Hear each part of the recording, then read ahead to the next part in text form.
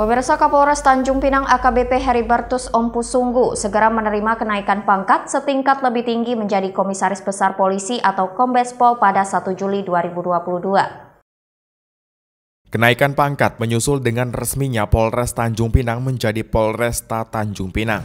Menteri Pendaya Aparatur Pendaya Gunaan Negara uh-huh. itu bulan satu kemarin ya, bulan satu kemarin. Dari sesi yang sekarang nanti terhitung 1 Juli nanti akan saya akan menerima koprapot kenaikan pangkat setingkat lebih tinggi. Okay. Makanya didoakan, ya doakan supaya berapa nih satu bulan setengah ya? Hmm. Yeah. Satu bulan setengah tidak ada masalah, tidak ada gangguan. Ya, insya Allah saya bisa. Dijadwalkan pada tanggal 10 Mei 2022, kenaikan tipe Polres Tanjung Pinang menjadi Polresta akan diresmikan oleh Kapolda Kepri, Irjen Pol Aris Budiman.